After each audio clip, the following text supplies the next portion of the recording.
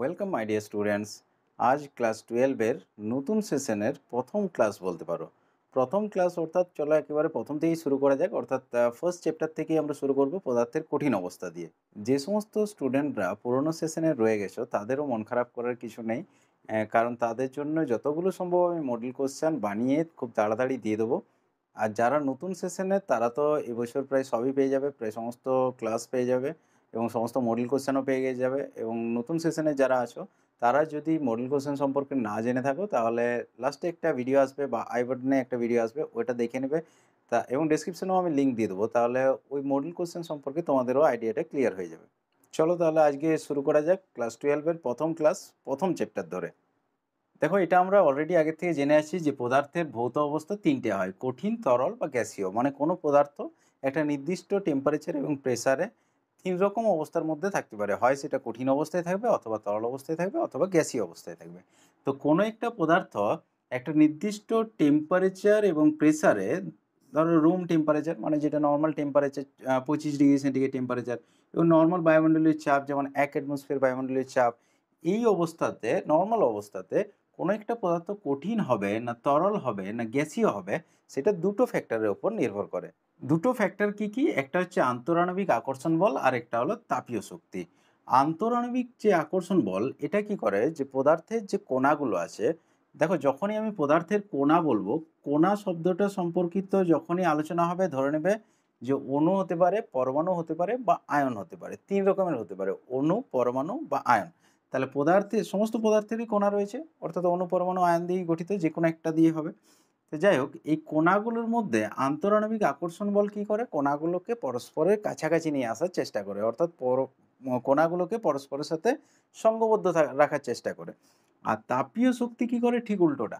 অর্থাৎ কোনো পদার্থে যদি তাপীয় শক্তি বেশি হয়, তাপ যদি বেশি হয়, অর্থাৎ এনার্জি যদি বেশি হয়, তাহলে কী হবে? কোণাগুলো ভাইব্রেট করতে থাকবে, অর্থাৎ কোণাগুলো পরস্পরের থেকে দূরে সরে যেতে চাইবে। অর্থাৎ তাপীয় শক্তি কি করে? কোনাগুলোকে পরস্পরের থেকে দূরে সরিয়ে নিয়ে যেতে চেষ্টা করে। তাহলে এই দুটো বল দু ধরনের কিন্তু, দুটো বিপরীতমুখী। অর্থাৎ একটা পরস্পরকে কাছাকাছি আনছে আর একটা পরস্পরকে দূরে সরে নিয়ে যাচ্ছে। এখন কঠিন পদার্থের ক্ষেত্রে কি হয়? কোণাগুলোর আন্তরাণবিক আকর্ষণ বলটা অনেক বেশি হয়, যে কারণে কোণাগুলো খুব দৃঢ়ভাবে কাছাকাছি আবদ্ধ থাকে। তরল পদার্থের ক্ষেত্রে আন্তরাণবিক আকর্ষণ বলটা মোটামুটি আছে, ভালো রকমই, তাপীয় শক্তির থেকে একটু বেশি। যে কারণে কোণাগুলো কঠিনের মতো অতটা কাছাকাছি থাকে না, অতটা দৃঢ়ভাবে থাকে না, অল্প একটু দূরে থাকতে পারে, যে কারণে তরলটা প্রবাহমানত ধর্ম দেখায়, অর্থাৎ বয়ে চলে যেতে পারে। অর্থাৎ কোনাগুলো একটার পর একটা এরকমভাবে চলে যেতে পারে। আর গ্যাসীয় পদার্থের ক্ষেত্রে তাপীয় শক্তিটা বেশি হয়। তাপীয় শক্তি বেশি হয়, আন্তরাণবিক আকর্ষণ বল খুব কম হয়। যে কারণে গ্যাসের কণাগুলো কি হয়, পরস্পরের থেকে দূরে দূরে যে কোনো দিকে ওরা ছোটাছুটি করতে পারে। যাই হোক, আমাদের এখানে আলোচ্য বিষয় হচ্ছে শুধুমাত্র কঠিন পদার্থটা এবং তরল আর গ্যাসীয় পদার্থ, এটা ক্লাস ইলেভেনের বিষয়।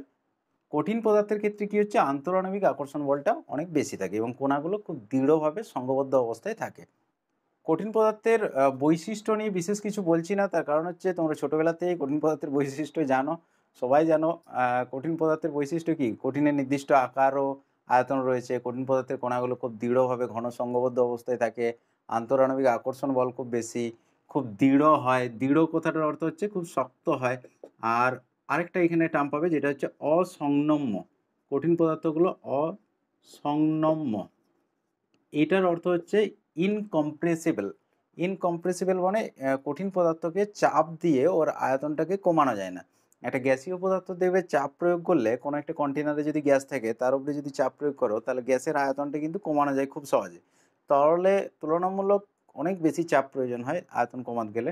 আর কঠিন পদার্থের আয়তন প্রায় কমানোই যায় না। অর্থাৎ যদি ধরো একটা লোয়ার টুকরো আছে, তাই তুমি যতই চাপ দাও, ওই টুকরোটাকে চাপ দিয়ে তুমি ছোট করতে পারবে না গ্যাসের মতো। তাই এটাকেই বলা হচ্ছে অসংনম্য ইনকম্প্রেসিবল হয়। যাই হোক, বৈশিষ্ট্যগুলো তোমরা যে বই ফলো করো সেই বইয়ে দেখবে দেওয়া আছে, একটু জাস্ট রিডিং পড়বে। বৈশিষ্ট্যগুলো এমন কিছু ইম্পর্টেন্ট নয়। এরপরে আমরা দেখব যে কঠিন পদার্থের শ্রেণীবিভাগ কঠিন পদার্থটাকে দুটো ভাগে ভাগ করা যায়। একটা হচ্ছে কেলাসাকার কঠিন পদার্থ, যেটাকে আমরা নিয়তাকারও বলতে পারি, আর একটা হচ্ছে অনিয়তাকার কঠিন পদার্থ।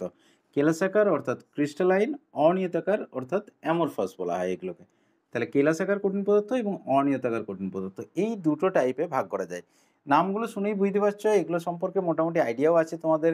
কেলাসাকার কঠিন পদার্থ মানে কি? ওগুলোর মধ্যে কেলাস পাবে, অর্থাৎ ওগুলোকে স্পর্শ করলেই বুঝতে পারবে ওদের কেলাস পাওয়া যাচ্ছে। আর অনিয়তাকার যেগুলো হচ্ছে, তার মধ্যে কোনো কেলাসাকার গঠন থাকবে না, অর্থাৎ পাউডারের মতো হবে ডাস্টের মতো, পুরোপুরি একদম। মানে ওগুলোকে যদি হাতে নেড়ে দেখো দুটো আঙুলের মধ্যে যদি ঘর্ষণ করে দেখো, তাহলে দেখবে ওর মধ্যে কোনো কেলাস পাচ্ছ না। যেমন পাউডারটা এই ধরনের একটা পদার্থ। আর কেলাসাকার কঠিন পদার্থ, যেমন হচ্ছে লবণ।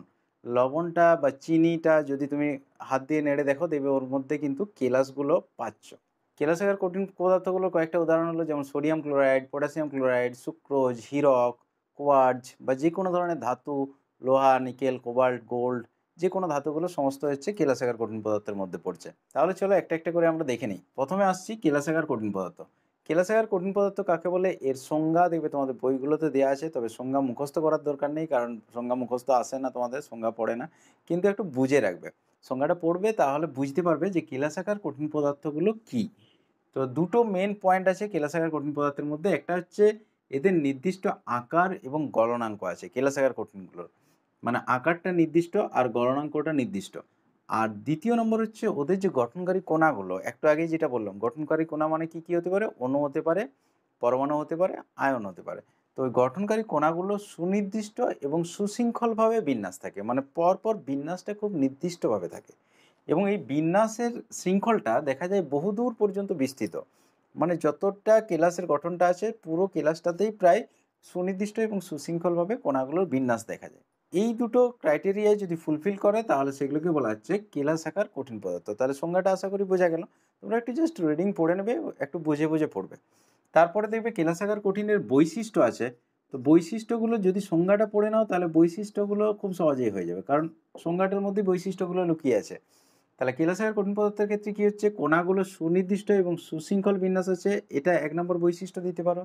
যে সুনির্দিষ্ট এবং সুশৃঙ্খল বিন্যাসের জন্য এদের আকারটা কী হবে? নির্দিষ্ট হবে। আচ্ছা কেলাসাকার কঠিনের গলনাঙ্ক যেটা গলনাঙ্কটা যে নির্দিষ্ট, এই কথাটার মানে কি? এই কথাটার মানে হচ্ছে, যেমন ধরো বরফের গলনটাকে যদি আমরা, বরফটা একটা কেলাসাকার কঠিন পদার্থ বরফের কেলাস হয়। তো বরফের গলনাঙ্কটাকে যদি আমরা একটু দেখি, কীরকমভাবে হবে? ধরো এটা একটা উষ্ণতার পাল্লা প্রথমে করলাম, এটা ধরো জিরো ডিগ্রি সেন্টিগ্রেড, এবং ওর নিচের দিকটা হচ্ছে ধরো মাইনাস, তাহলে এটা মাইনাস টেন ডিগ্রি সেন্টিগ্রেড এটা আরও কম। আচ্ছা উপর দিকটা হবে, এটা প্লাস টেন ডিগ্রি সেন্টিগ্রেড এটা হচ্ছে প্লাস টোয়েন্টি ডিগ্রি সেন্টিগ্রেড মানে কুড়ি ডিগ্রি সেন্টিগ্রেড প্লাস বলতে নর্মাল আর এগুলো হচ্ছে মাইনাস প্লাসগুলো না দিলেও চলে, এটা টেন ডিগ্রি দশ ডিগ্রি সেন্টিগ্রেড এটা কুড়ি ডিগ্রি সেন্টিগ্রেড নিচের দিকেরগুলো মাইনাস দশ ডিগ্রি মাইনাস কুড়ি ডিগ্রি সেন্টিগ্রেড এখন ধরো একটা বরফকে তুমি ফ্রিজে রেখেছো ফ্রিজে রেখেছো বলতে কি?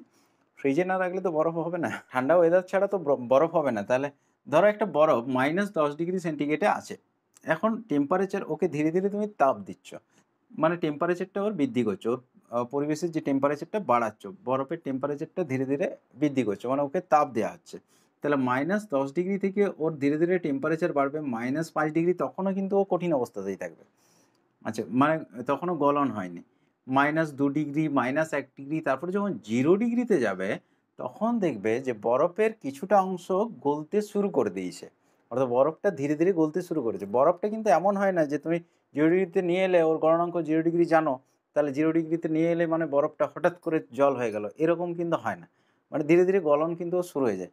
এবং যখন গলন শুরু হয়ে যায়, তখন ওর টেম্পারেচারটা কিন্তু জিরোতেই ফিক্সড থাকবে। অর্থাৎ যতই তুমি টেম্পারেচার বাড়ানোর চেষ্টা করো ওর কিন্তু জিরো ডিগ্রি সেন্টিগ্রেডই টেম্পারেচার থাকবে যতক্ষণ না গলনটা সম্পূর্ণ হচ্ছে। অর্থাৎ পুরো বরফটা ধীরে ধীরে ধীরে ধীরে গলে যাবে। এবং যখন পুরো বরফটা প্রায় গলে যাবে তখন জিরো ডিগ্রি সেন্টিগ্রেডই থাকবে। তারপরে ওর টেম্পারেচার আরও বাড়বে। যত তুমি এরপরে তাপ দিয়ে যাচ্ছ, তত টেম্পারেচার কিন্তু আরও বাড়বে। মানে জলে কনভার্ট হয়ে গেছে। এরপর আবার ও যখন একশো ডিগ্রিতে যাবে তখন ও বাষ্প হয়ে যাবে। সেটা আলাদা ব্যাপার। যাই হোক, গলনটা নির্দিষ্ট টেম্পারেচারেই কিন্তু হয়। মানে যতক্ষণ গলনটা হবে ততক্ষণ টেম্পারেচারটা কিন্তু জিরো ডিগ্রিতে ফিক্সড থাকবে। এই জন্য এটা বলা হচ্ছে নির্দিষ্ট গলনাঙ্ক আছে। বোঝা গেছে আশা করি বিষয়টা? আচ্ছা নির্দিষ্ট গলনাঙ্ক আছে মানে তিন নম্বর পয়েন্ট এটা দিতে পারো যে গলনের লিন তাপটাও নির্দিষ্ট। আরেকটা বিষয় কী হয়? কেরাসাগার কঠিনগুলো দৃঢ় এবং অসংনম্য হয়, এটা তো আমরা আগেই দেখলাম। আর ওটা তাহলে চার নম্বর পয়েন্ট হিসাবে বলা যেতে পারে। পাঁচ নম্বর পয়েন্ট যদি এগুলো মুখস্থ করার কোনো দরকার নেই, এগুলো জাস্ট রিডিং পড়ে রাখবে। আরেকটা দেখবে নতুন টার্ম পাবে কিছু কিছু বইয়ে পেয়ে যাবে। অসমসারক প্রকৃতির হয়। এই বিষয়টা একটু করে রাখতে পারো। অ্যানাইসোট্রপিক বলা হয় এটাকে। এই বিষয়টা কি আমরা এখন একটু দেখে নিই। ধরো না এটা একটা কেলাসাকার কঠিন পদার্থ, এটা একটা কেলাসাকার কঠিন পদার্থ। অ্যানাইসোট্রপিক কথাটার অর্থ কি হচ্ছে যে, এর যে ভৌত ধর্ম, বিভিন্ন ভৌত ধর্ম, যেমন তাপ পরিবাহিতা, তড়িৎ পরিবাহিতা প্রতিসরাঙ্ক, এই সমস্ত ধর্মগুলো ওর যেদিকে তুমি পরিমাপ করবে, ধরো যদি এই বরাবর পরিমাপ করো তাহলে মানটা একরকম আসবে। যদি এইদিকে পরিমাপ করো, তাহলে মানটা অন্যরকম আসবে। অর্থাৎ পরিমাপের দিকের উপর নির্ভর করছে। মানে যেদিকে তুমি পরিমাপ করছ, তার উপর মানটা নির্ভর করে ওই ভৌত ধর্মগুলোর মানগুলো। তাপ পরিবাহিতা, তড়িৎ পরিবাহিতা বা প্রতিসরাঙ্ক বা প্রসারণ, তাপীয় প্রসারণ, বিভিন্ন ধরনের যে ভৌত ধর্ম আছে, তাদের মানগুলো বলছে পরিমাপের দিকের উপর নির্ভর করে। এটা কীভাবে হয়? এনআইসোট্রপিক ব্যাপারটা বোঝার জন্য আমরা এরকম একটা কেলাসাগার কঠিন পদার্থ কল্পনা করে নিচ্ছি। এটা ধরো একটা কেলাসাগার কঠিন পদার্থ, যার মধ্যে এগুলো হচ্ছে উপাদান কোণাগুলো। তাহলে কেলাসাগার কঠিন পদার্থটা আমরা দেখতে পাচ্ছি দুরকম কোণার সমন্বয়ে গঠিত, একটা ছোট কোণা রয়েছে, একটা বড় কোণা রয়েছে। যাই হোক আমি খুব একটা ভালো ছবি আঁকতে পারি না। যদি কোনাগুলো কোথাও কোথাও একটু গোলমাল দেখায়, তাহলে একটু বুঝে নেবে ব্যাপারটা। আর তোমাদের বইগুলো তো দেখবে, ছবিগুলো খুব সুন্দরভাবে দেয়া আছে। যাই হোক, যেটা বলছিলাম, দেখো। তাহলে এরকম কেলাসাকার কঠিন পদার্থটার কোনাগুলো আমরা ধরে নিয়েছি। যদিও কোনাগুলো কিন্তু এতটা ফাঁকা ফাঁকা থাকে না, এটা তোমাদেরকে দেখানোর সুবিধার জন্য এরকমভাবে আঁকা হয়েছে। এখন ধরো, কোনো একটা ধর্মকে যদি আমরা এই রেখাটা বরাবর পরিমাপ করি, এইভাবে যদি কোনো একটা ধর্মের পরিমাপ করি, এটাকে আমরা এবি বলে দিলাম এবি রেখা বরাবর। আর কোনো এক, ওই ধর্মটাকেই যদি আমরা এই বরাবর পরিমাপ করি, অর্থাৎ এইভাবে আড়াআড়ি যদি পরিমাপ করি, এটা ধরো আমরা সিডি বলে দিচ্ছি। যে কোনো নাম দিতে পারো। এটাকেও এবি দিতে পারো, ওটাকে সিডি দিতে পারো পিকিউ দিতে পারো যে কোনো নাম দিতে পারো, সেটা ব্যাপার না তাহলে যদি আমরা এবি আর সিডি এই দুরকম দিক থেকে আমরা কোনো একটা বিশেষ ধর্মকে পরিমাপ করি, তাহলে দেখা যাবে দুরকম মান আসবে। কেন দুরকম মান আসবে? কারণ দেখো, এই এবি রেখাটার এবি রেখাটার একদিকে শুধু বড় কোণাগুলো রয়েছে আর একদিকে শুধু ছোট কোণাগুলো রয়েছে। কিন্তু সিডি রেখাটাকে লক্ষ্য করে দেখো, এর দুদিকেই দুরকম কোনায় সমান সংখ্যায় রয়েছে। মানে এদিকে একটা বড় কোনা রয়েছে, এদিকেও বড় কোনা রয়েছে, এখানে ছোট কোনা রয়েছে, এখানেও ছোট কোনা রয়েছে। মানে সমান সংখ্যায় বর্তমান রয়েছে, দুরকম কোনায় দুদিকেই রয়েছে। তার মানে বোঝাই যাচ্ছে যে এবি রেখার পারিপার্শ্বিক যে পরিবেশ আর সিডি রেখার পারিপার্শ্বিক পরিবেশ দুটো কিন্তু আলাদা। যেহেতু দুটোর বরাবর পারিপার্শ্বিক পরিবেশটা আলাদা আসছে, তার জন্য মানগুলো কিন্তু একটু আলাদা চলে আসে। এই জন্যই বলা হচ্ছে কিলাসাকার কঠিন পদার্থগুলো হচ্ছে অসমসারক প্রকৃতির বা এনাইসোট্রপিক নেক্সট আমরা আসব অনিয়তাকার কঠিন পদার্থ নিয়ে। অনিয়তাকার কঠিন পদার্থটা কী হবে? ঠিক ওটার উল্টা হবে কেলাসাকার কঠিন পদার্থগুলোর। যেমন কেলাসাকার কঠিন পদার্থের ক্ষেত্রে আমরা কি দেখেছিলাম? নির্দিষ্ট আকার এবং গলনাঙ্ক রয়েছে, তাহলে এর ক্ষেত্রে নির্দিষ্ট আকার এবং গলনাঙ্ক থাকবে না। ওর ক্ষেত্রে দেখেছিলাম সুশৃঙ্খল এবং সুনির্দিষ্ট বিন্যাস দেখা যাচ্ছে, তাহলে এর ক্ষেত্রে সুশৃঙ্খল বা সুনির্দিষ্ট বিন্যাস দেখা যাবে না। তাহলে এটা বলতে পারি যে, সমস্ত কঠিন পদার্থের নির্দিষ্ট আকার এবং গণনাঙ্ক নেই। যাদের গঠনকারী কণাগুলি প্যাকেটের মধ্যে লিখতে পারো অনুপরমাণু বা আয়ন, ওদের সুনির্দিষ্ট এবং সুশৃঙ্খল বিন্যাস লক্ষ্য করা যায় না। তাদেরকে বলা হচ্ছে অনিয়তকের কঠিন পদার্থ। সংজ্ঞাগুলো মুখস্থের দরকার নেই, একটু ভালো করে বুঝে পড়ে নেবে। তারপরে দেখবে আগের মতো একইভাবে বৈশিষ্ট্য আছে। আচ্ছা কয়েকটা উদাহরণও করে রাখবে। অনিয়তকার কঠিন পদার্থের উদাহরণ কোনগুলো হবে? যাদের কেলাস থাকবে না কিন্তু। যেমন হচ্ছে রাবার, মোম, কাঁচ, প্লাস্টিক ইত্যাদি। আচ্ছা এর বৈশিষ্ট্যগুলো কী হবে তাহলে তো বুঝতেই পারছ? সেই আগের মতোই ওর ঠিক উল্টা উল্টা হবে।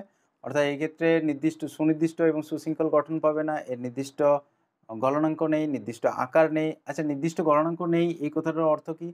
অর্থাৎ এরা গলনাঙ্কের একটা বিস্তীর্ণ সীমার মধ্যে, উষ্ণতার একটা বিস্তীর্ণ সীমার মধ্যে এদের গলনটা ঘটে থাকে। কীরকম দেখো, এটাও একটু বুঝিয়ে দিচ্ছি। ধরো কোনো একটা অনিতকার কঠিন পদার্থ নিলে যার গলনাঙ্ক তোমার দেখলে যে স্টার্ট হচ্ছে, ওর গলন শুরু হচ্ছে পঞ্চাশ ডিগ্রিতে। ধরো একটা অনিতকার কঠিন পদার্থ, সেটা গলতে শুরু করছে পঞ্চাশ ডিগ্রিতে। তাহলে নিচের দিকেরগুলো পঁচিশ ডিগ্রি সেন্টিগ্রেড এটা হয়তো জিরো ডিগ্রি সেন্টিগ্রেড এরকম নিলাম আমরা। এখানে ধরো সত্তর ডিগ্রি সেন্টিগ্রেড নব্বই ডিগ্রি সেন্টিগ্রেড এভাবে যদি পরপর যায়, এটা ধরো একশো ডিগ্রি সেন্টিগ্রেড স্কেলটা বিভিন্ন ধরনের হতে পারে। তাহলে হয়তো দেখা গেল এরকম যে পদার্থটা ধরো প্রথমে রুম টেম্পারেচারে রয়েছে পঁচিশ ডিগ্রি সেন্টিগ্রেডে তুমি রেখেছো রুম টেম্পারেচার নর্মাল টেম্পারেচারে সেই অবস্থায় ওটা কিন্তু কঠিন পদার্থ। এরপর তুমি ওকে ধীরে ধীরে হিট করতে শুরু করলে, অর্থাৎ ওর তাপমাত্রা ধীরে ধীরে বাড়াতে শুরু করলে। দেখা গেল যে পঞ্চাশ ডিগ্রি সেন্টিগ্রেড টেম্পারেচারে গিয়ে ওই পদার্থটার গলন শুরু হয়ে গেল, অর্থাৎ পঞ্চাশ ডিগ্রিতে ও গলতে শুরু করেছে, কিছুটা অংশ গলতে শুরু করেছে। একসাথে তো পুরোটা গলে যাবে না, তাহলে কিছুটা করে গলতে শুরু করেছে।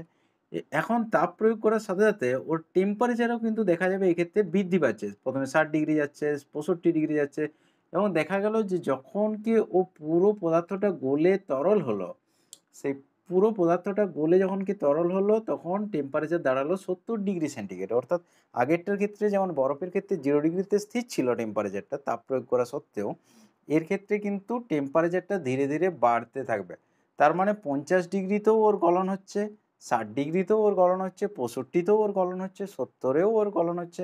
তার মানে কি উষ্ণতার একটা বিস্তীর্ণ পাল্লার মধ্যে ওর গলনটা ঘটছে।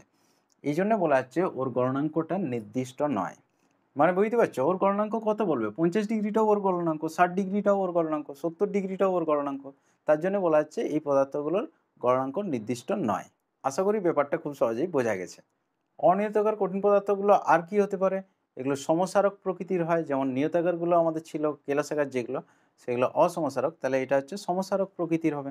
এরা কিছুটা দৃঢ় হয় মানে খুব শক্ত না হলেও কিছুটা শক্ত হয়, আর কিছুটা সংনম্যও হয় সংনম্য বলতে চাপ প্রয়োগ করে ওকে সংকুচিত করা যাবে, আকারটা ছোট করা যাবে, সেরকম কিছুটা হলেও করা যায়। এখানে একটা নতুন টার্ম পাবে, যেটা হচ্ছে অতি শীতলীকৃত সান্দ্র তরল, এটা একটু পারলে করে রাখবে। ব্যাপারটি কি? যে অনিয়তাকার কঠিন পদার্থগুলোর সাথে তরলের কিছু কিছু ধর্মের সাদৃশ্য দেখা যায়। তরলের ধর্ম মানে যেমন হচ্ছে প্রবাহমানতা ধর্ম, তরলটা যেমন বয়ে যেতে পারে। এরকম ধর্ম কিন্তু কাঁচের ক্ষেত্রে কিছুটা দেখা যায়। শুনে একটু অবাক লাগছে আশা করি কিন্তু হ্যাঁ এটা দেখা যায়। আরও অনিয়তকর পদার্থের মধ্যে এটা দেখা যায়। যে কারণে অনিয়তকার পদার্থগুলোকে আমরা অতি শীতলীকৃত সান্দ্র তরল বলা হচ্ছে। মানে খুব ঠান্ডা করে দেওয়া হয়েছে তরলটাকে, যেন এরকম কল্পনা করা হচ্ছে। যে খুব ঠান্ডা করে দেওয়া হয়েছে, দিয়ে সান্দ্র করে দেয়। সান্দ্র অবস্থা মানে বুঝতেই পারছ, না তরল, না কঠিন, মাঝামাঝি একটা অবস্থা, থকথকে অবস্থা। অনিয়তকার কঠিন পদার্থগুলোকে বলা হচ্ছে অতি শীতলীকৃত সান্দ্র তরল, সুপার কুল ভিসকাস লিকুইড বলা হয় এদেরকে। যেহেতু তরলের সাথে ধর্মের সাদৃশ্য দেখা যাচ্ছে। এটা ব্যাপারটা একটু বুঝিয়ে বলছি, দেখো একটা উদাহরণ দিয়ে। যেমন হচ্ছে বহু পুরনো বাড়ির যদি জানলার কাজগুলো লক্ষ্য করো, বহু পুরনো বলতে পাঁচ বছর, দশ বছরের পুরনো নয় মোটামুটি পঞ্চাশ বছর বা একশো বছর মানে আগেকার দিনে যে জমিদারদের বাড়িগুলো ছিল সেই ধরনের বাড়ি আর কি। যদি বহু পুরনো বাড়ি থেকে থাকে, তাহলে তার জানলার কাজগুলো দেখবে, উপরের দিকের থেকে নিচের দিকটা কিছুটা হলো পুরু আর ঘন। এটা কেন হয়েছে না, মাধ্যাকর্ষণ শক্তির প্রভাবে যে কাঁচের কোনাগুলো আছে, সেগুলো নিচের দিকে নেমে গেছে। অর্থাৎ অনেকটা সেই প্রবাহমানতা ধর্মের মতনই কাজ হচ্ছে, যে কারণে কাজকে বলা হচ্ছে অতি শীতলীকৃত সান্দ্র তরল তাহলে তোমাদের টুয়েলভের সিলেবাসে অনিয়তকার পদার্থ নিয়ে ওইটুকুই শেষ। মানে অনিয়তকার পদার্থের ওইটুকু পড়লেই যথেষ্ট। এরপর চলে আসব আমরা কেলাসাগার কঠিন পদার্থতে আবার ফিরে আসব। কারণ কঠিন অবস্থা বলতে মেনলি কেলাসাকার কঠিন পদার্থটা নিয়েই পুরো চ্যাপ্টারটা হবে। এরপর আমরা দেখব কেলাসাকার কঠিন পদার্থের শ্রেণি বিভাগ। আজকের ক্লাসটাতে তোমাদের যা যা পদার্থের শ্রেণি বিভাগগুলো আছে, সবগুলো নিয়ে আলোচনা হয়ে যাবে কমপ্লিট হয়ে যাবে। দেখো কেলাসাকার কঠিন পদার্থগুলোর শ্রেণি বিভাগটা করা হয় মূলত দুটো বিষয়ের উপর গুরুত্ব রেখে। একটা হচ্ছে কোনাগুলো কীরকম আছে তার উপর ডিপেন্ড করে করা হয়। মানে অণু হয়, আছে না পরমাণু আছে না আয়ন আছে, অর্থাৎ কেলাসাগার কঠিনের যে উপাদান কোনাগুলো সেগুলো কি বটে? এবং কোনাগুলোর মধ্যে আন্তরাণবিক আকর্ষণ বলটা কেমন? মানে ভেন্ড্রাওয়াল আকর্ষণ বল, না ডাইপল ডাইপল আকর্ষণ বল, না হাইড্রোজেন বন্ধন, না অন্য কিছু? এই দুটো মূল বিষয়ের উপর ভিত্তি করেই কিন্তু কেলাসাকার কঠিন পদার্থগুলোর শ্রেণি বিভাগ করা হয়। একটু মন দিয়ে দেখে নাও, খুব সহজ লাগবে এবং এখান থেকে কোশ্চেনও আসে তোমাদের পরীক্ষাতে।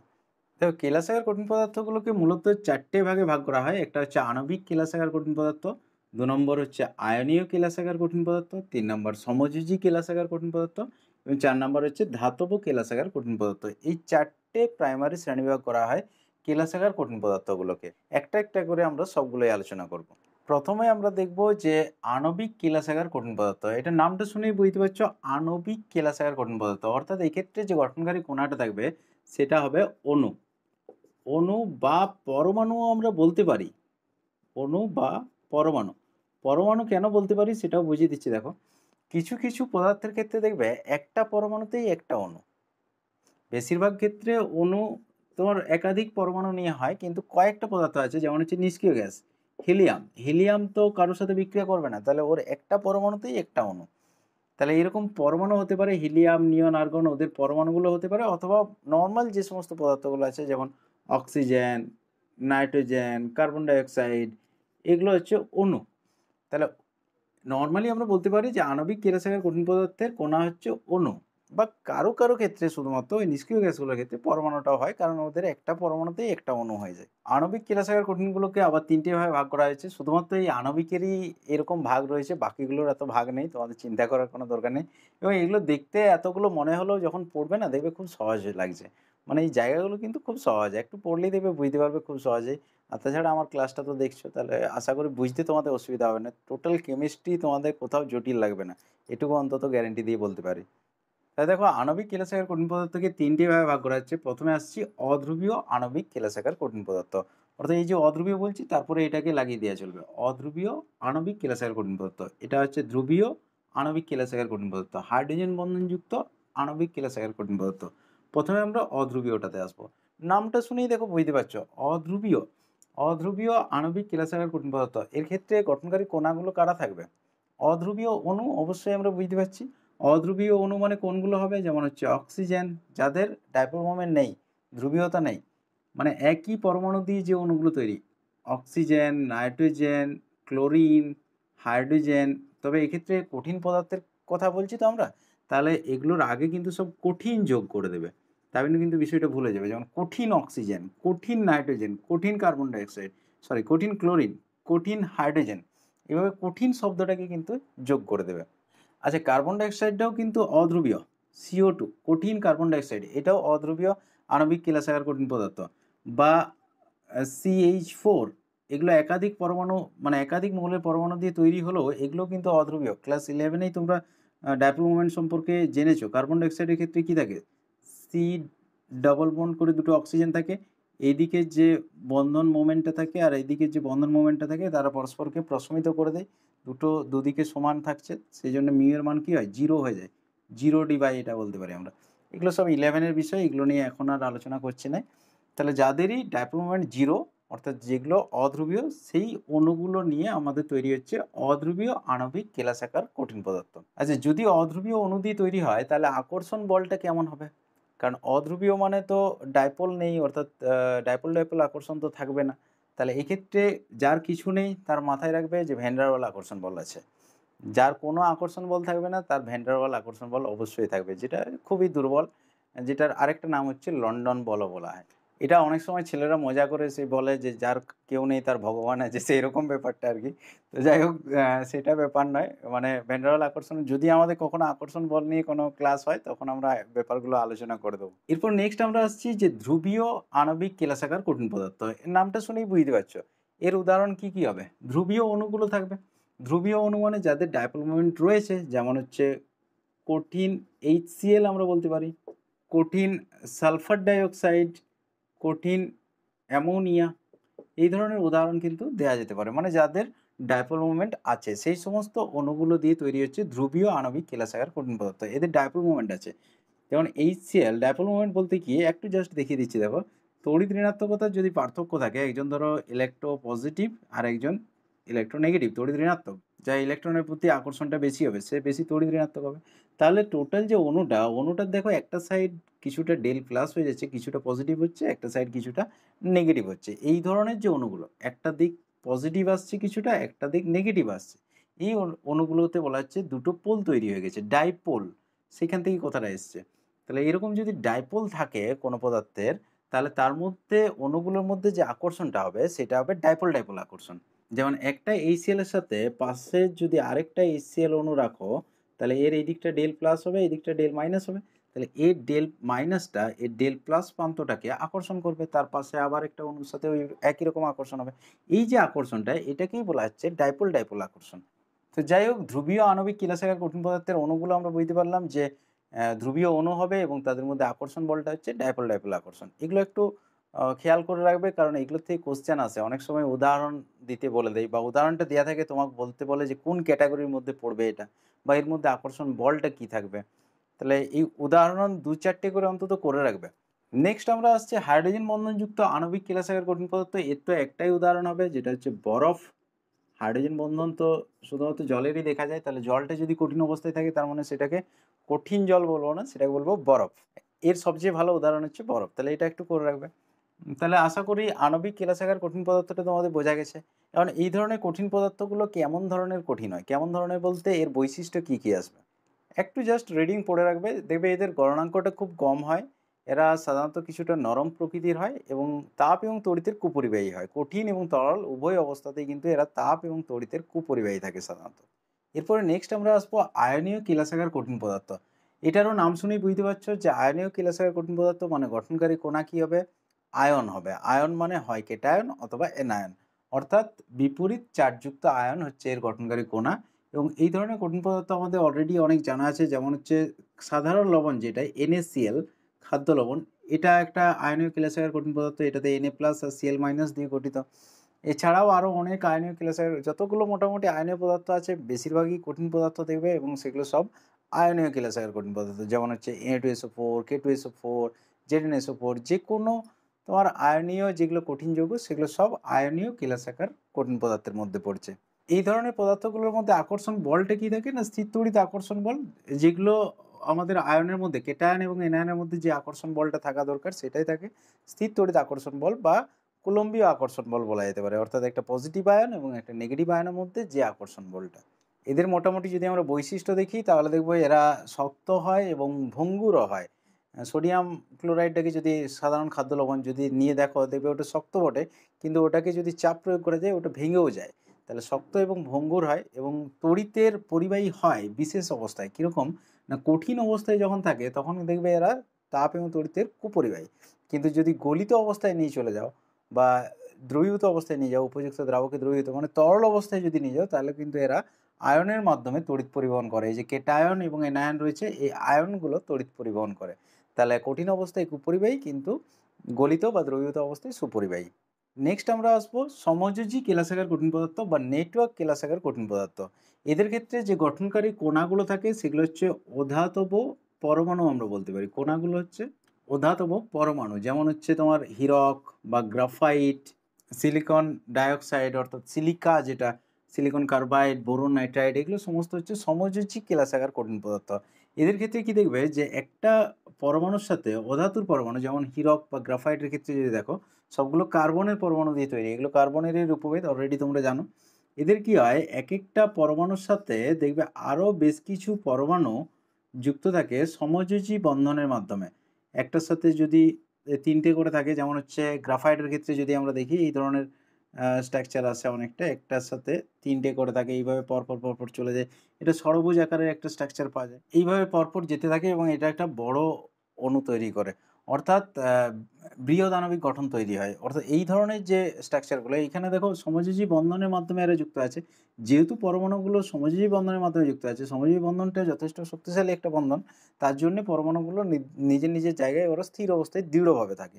এই কারণে হিরক, গ্রাফাইট, সিলিকা বা সিলিকন কার্বাইড, বোরন নাইট্রেট, এরা সবই হচ্ছে সমযোজী কেলাসাকার কঠিন পদার্থের মধ্যে পড়ছে। এরা সাধারণত খুব শক্ত হয়ে থাকে, তবে ব্যতিক্রম হচ্ছে গ্রাফাইটটা। গ্রাফাইটটা দেখবে নরম। ওটাতে যদি নখে করে একটু চাপ দাও, তাহলে দেখবে একটা স্তরের থেকে আরেকটা স্তর পিছলে চলে যাচ্ছে। অর্থাৎ ওটা মোটামুটি নরম বলে বোঝা যায়। আর এরা তাপ এবং তড়িতের কুপরিবাহীও বটে, সুপরিবাহী নয় মোটেই, এরা কুপরিবাহী, কিন্তু এরও ব্যতিক্রম হচ্ছে গ্রাফাইট। গ্রাফাইটটা কিন্তু তড়িতে সুপরিবাহী। গ্রাফাইট আছে, আরেকটা আছে বোরন নাইট্রেট। এই দুটো তড়িতে সুপরিবাহী। বোরন নাইট্রেটটাকে অ্যাকচুয়ালি অজৈব গ্রাফাইটই বলা হয়। তাহলে এই হলো আমাদের সমযোজী কেলাসাকার কঠিন পদার্থ নম্বর থ্রি যেটা। এরপর নাম্বার ফোর লাস্ট আসছি, যেটা হচ্ছে ধাতব কেলাসাকার কঠিন পদার্থ। এটা নামটা শুনেই তোমরা বুঝতে পারছ যে এই ধরনের কঠিন পদার্থগুলোর ধাতব কেলাসাকার কঠিন পদার্থের কোনাগুলো কী হবে? এদের কোনাগুলো কী হবে বলতো? ধাতব কেলাসাকার কঠিন পদার্থ, তার মানে ধাতুর পরমাণুগুলো হবে এদের গঠনকারী কোনা ধাতুর পরমাণুগুলো একটা বিশেষ ধরনের ধাতব বন্ধনের মাধ্যমে পরমাণুগুলো পরস্পরের সাথে খুব দৃঢ়ভাবে সঙ্গবদ্ধ অবস্থায় থাকে।